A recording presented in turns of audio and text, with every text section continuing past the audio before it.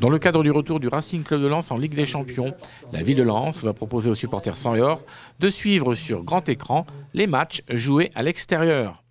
Trois rencontres seront diffusées sur un écran installé en bas de la rue Lannoy.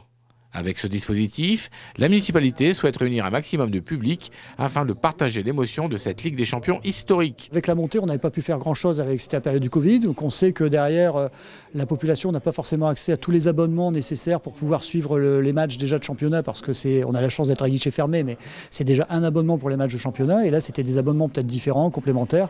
Et tout le monde n'a pas forcément cette possibilité-là. Donc de se dire, bah, on va accompagner le Racing, on va montrer aussi euh, la solidarité du territoire, puis on va permettre à la population d'aller euh, un match dans de bonnes conditions et surtout euh, avec un élan populaire comme on peut le voir dans le stade, mais là avec cet écran géant en centre-ville. On est sur les matchs extérieurs parce que voilà, il y a aussi les modalités d'accueil, euh, de retransmission, mais en même temps de sécurisation de ces sites-là. On peut vraiment euh, souligner l'engagement qui a été de l'État à nos côtés parce que dans un temps assez limité, à temps record, on a pu bénéficier de l'ensemble des, des, agréments et des accords pour pouvoir organiser ce type de ce type d'événement dès mercredi 20. Donc ça veut dire dans moins d'une semaine, on est, on est prêt. Quoi. Des animations compléteront l'événement avec un village des champions installés sur le parvis de l'hôtel de ville avec du baby-foot humain, des concours de jonglage et de tir au but, ainsi qu'une ambiance DJ. Alors on va diffuser le match en fin d'après-midi, comme euh, le match à 21h sur l'écran géant euh, rue Lannoy, avec un écran de plus de 80 mètres carrés.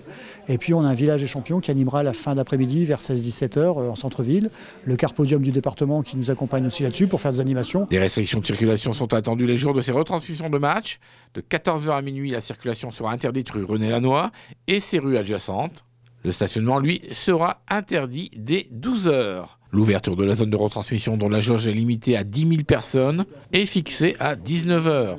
Et pour plus de renseignements sur l'accès à cette zone de ces trois soirées, www.villedelance.fr. On est sur la fête du football, mais en même temps, on va défendre nos couleurs sur la plus belle des compétitions européennes.